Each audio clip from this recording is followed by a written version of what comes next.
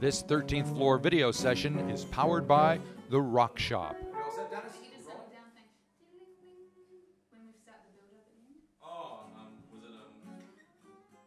Hi, welcome to the 13th floor. I'm Marty Duda. Today we have Reb Fountain with us. How's Hi. it going? Reb, it's you. You've been on 13th floor sessions before, Yes. a few times with other folks. So That's- now it's about time we got you uh, doing your own stuff. That's right. I've been doing working with other people for about the last five years. I've done my own music before as well, and during that time I've done my own music. But yeah, in terms of releasing anything, it's been a while. So you've got two releases coming up this year, just to make up for it.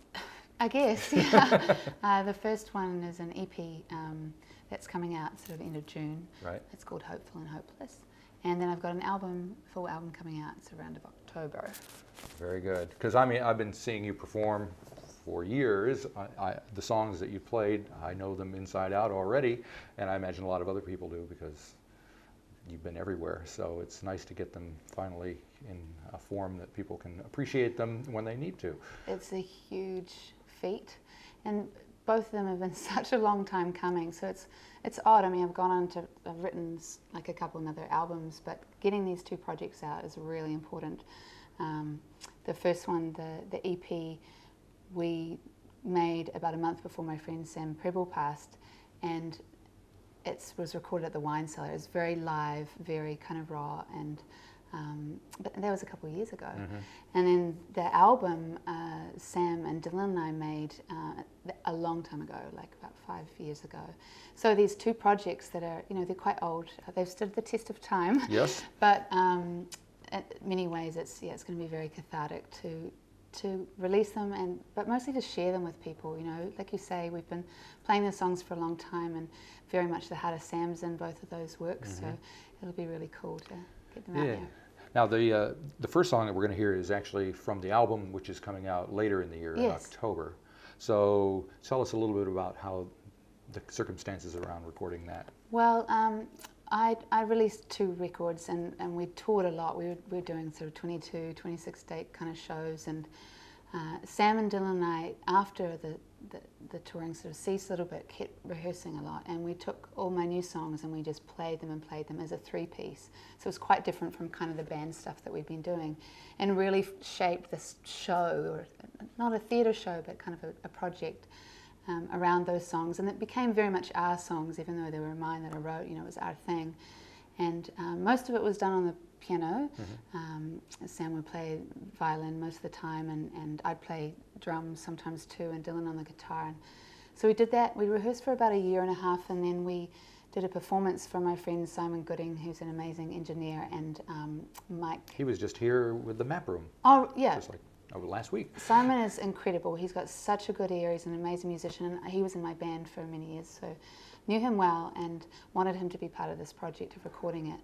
And we really wanted to capture our live performance with it. So we um, invited Simon over and Mike Hall and Mike Franklin Brown um, on bass and drums respectively. And and we played and did the whole kind of album and we said this is kind of what we want and so it meant that we were really well rehearsed and those guys had a vision our vision in mind and we went into york street which was a long time ago Yes.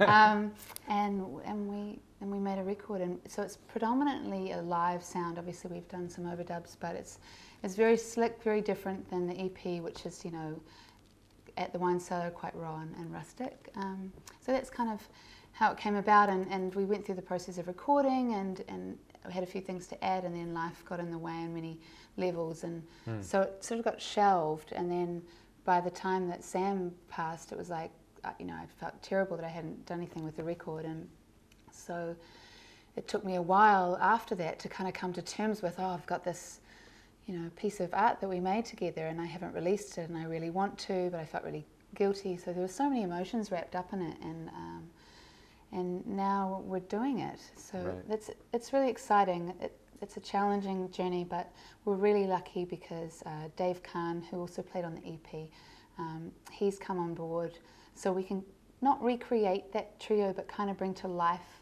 the vision that we had at the beginning. And um, I'm really excited about sharing that with people. So you've got Dave Kahn and Dylan Storey with you today. Yes. So we're going to hear a song from that album. Uh, the song is called Down in the Valley. Lord only knows the troubles I've seen.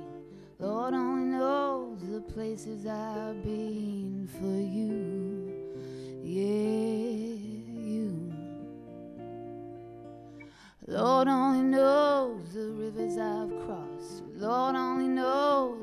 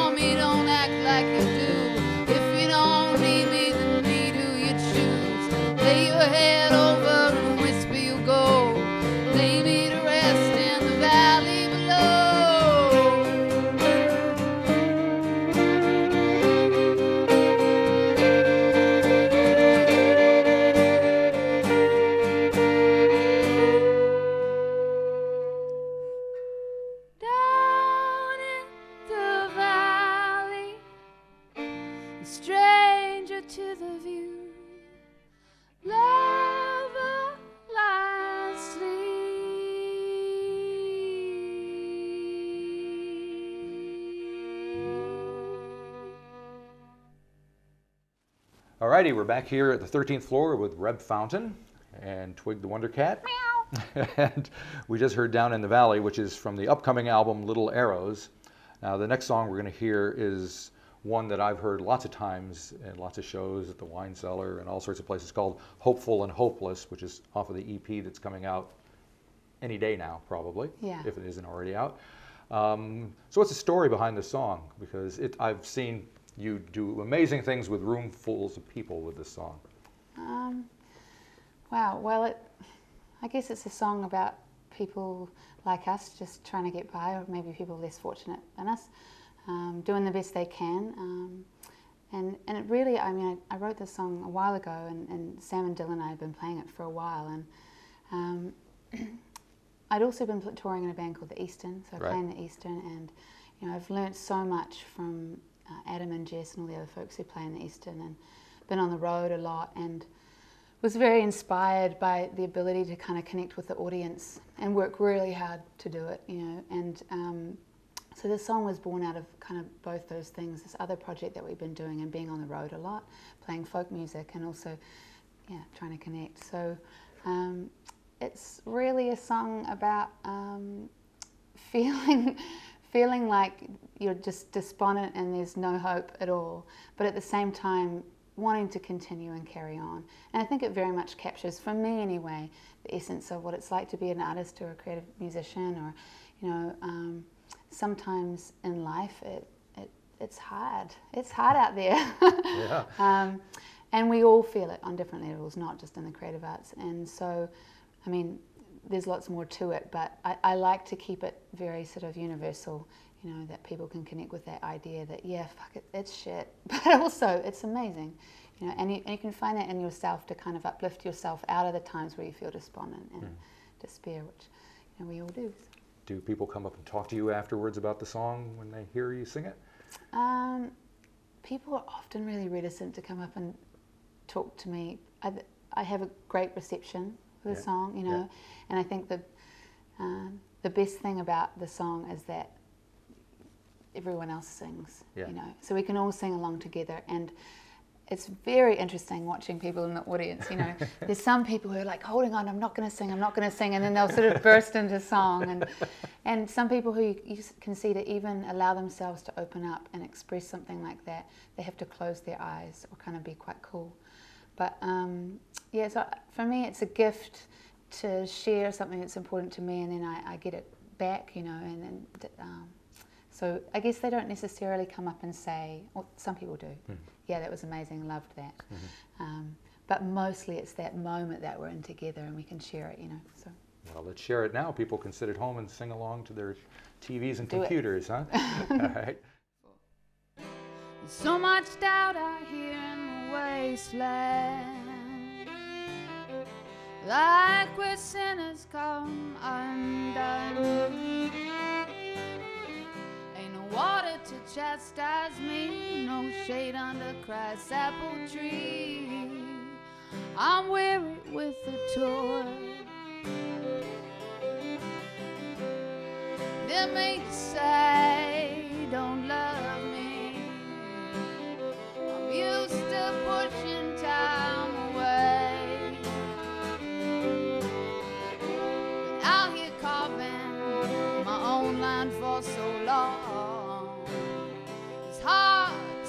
the goddamn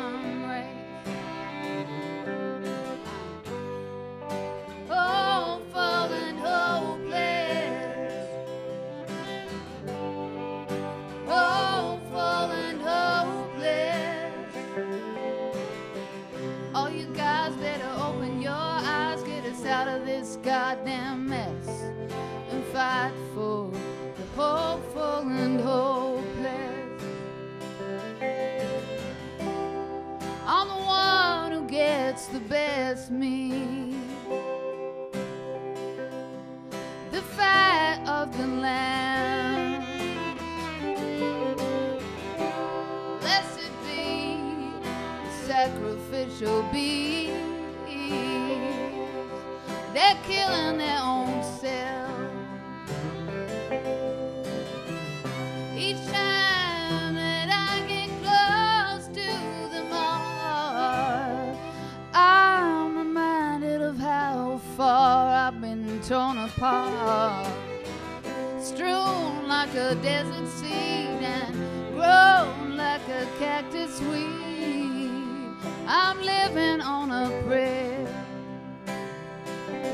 For the hopeful and hopeless. Hopeful and hopeless. All you guys better open your eyes, get us out of this goddamn mess, and fight for hope. When you say that it's over, your words kiss death upon my mouth. Kiss the cheeks, kiss the lips of the ones that I love and pass it round. Always knew this was hell, but there's no one up there looking down.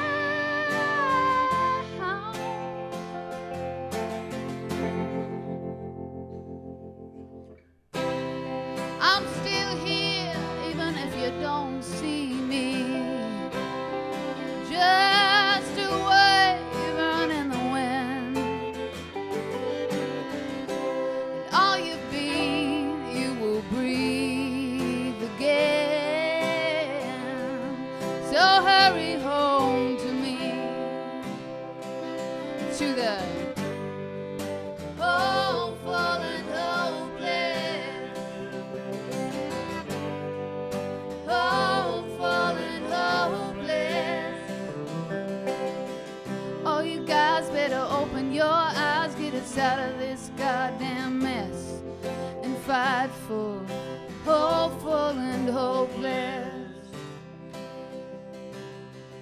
Oh, you guys better open your eyes, get us out of this goddamn mess, and fight for hopeful and hopeless.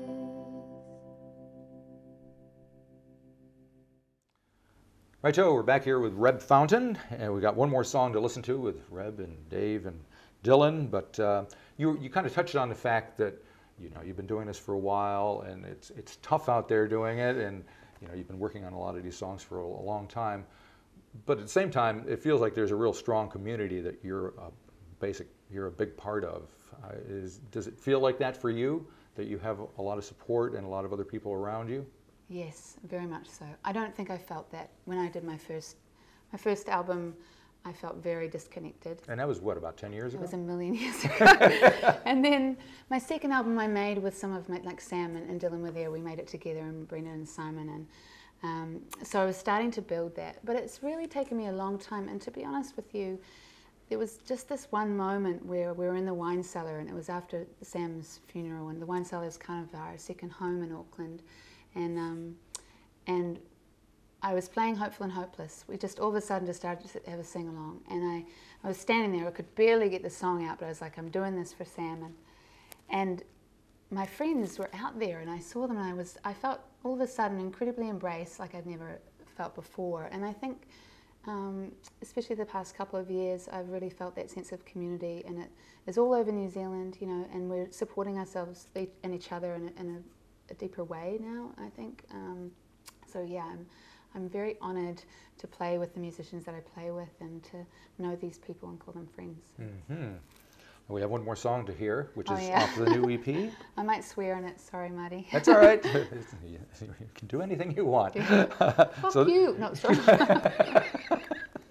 and it is tough. yeah. Uh, this one is called Gold. yeah. This right. is this is called. Do you want to know about it? I do. I want to know all about it. So, um, a long time ago, I, I went to live in the UK Mm-hmm. and then lived in Seattle and on the west coast, um, California, and was traveling around with my partner at the time. And um, especially when we got to Seattle, I went to jazz school there, but um, we were sort of still embodying that whole concept of a rock and roll dream. And I think it's very much part of my generation where you know you're gonna you're gonna make it. Right. And so, but along the way, the reality is, is that most people get lost in, in drugs, you know, and fall apart. Um, so this song is kind of about that that journey. You know, you you want the success, but you get lost and, and sidetracked in the things um, things on the way. And um, so yeah, it's called Gold, and it's about that that desire for something, maybe that desire for fame that's not actually necessarily genuine in respect to your relationship to music. And for me, anyway, I've learned a lot coming from having that desire, wanting to be successful, and going, well, actually, I want the heart of it, I want the meaning, I want the work, you know. Um, and so this song is kind of about that, that first step. Fantastic. Well, thank you for coming and doing this. Thank you so it's much, great to hear these songs, and hopefully everyone will go out and buy their own copy and version of them see you when you play out. yeah, I'm looking forward to it. Can't wait to share the vinyl with you guys. It'll Ah, be yes, so good. definitely. All Add right. to your collection, Marty. Yeah, so. Thank you very much.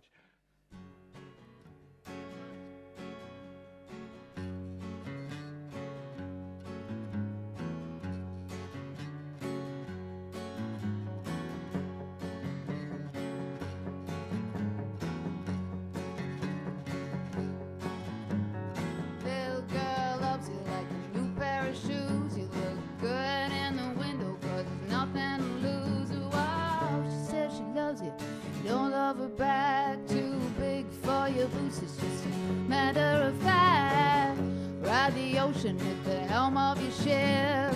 Launches at the ready, yeah, you're fully equipped. Careful, baby,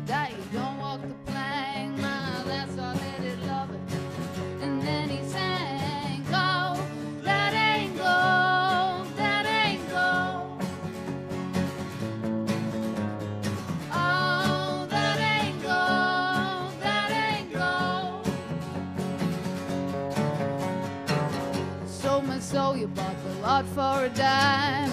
So worth worthless, baby, I ain't even got time. It's just desire, flip the coin and scream. Dig through hell to heaven, boy, is what I need. Oh, that ain't gold,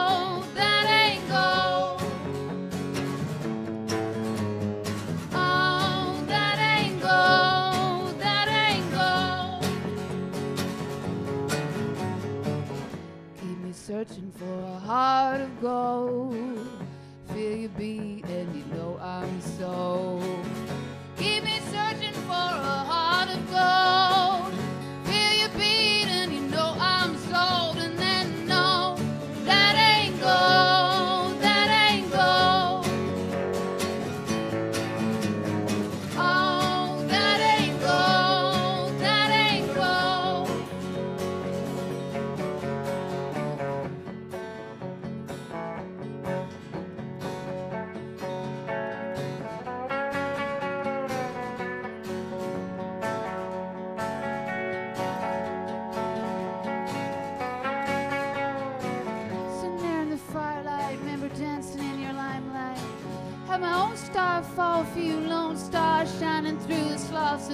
Stop pickup shop, smoking coal tar to the very last straw. Don't you remember that night in December when you hustled your way into my heart? Bareback riders we were. You followed my every curve, I followed your music, your woman, your words, you framed my side, my sound. Tattooed your breath on my heart, there was nobody but you. I knew you felt the same way too. Two fucked up kids out on the road, two fucked up kids out on the road. Starving fame, love and devotion, candy and coke, harmony and emotion. We're baptized in the ocean of desire for something, something bigger than us, bigger than all you motherfuckers. Here we go, kids. Here we go.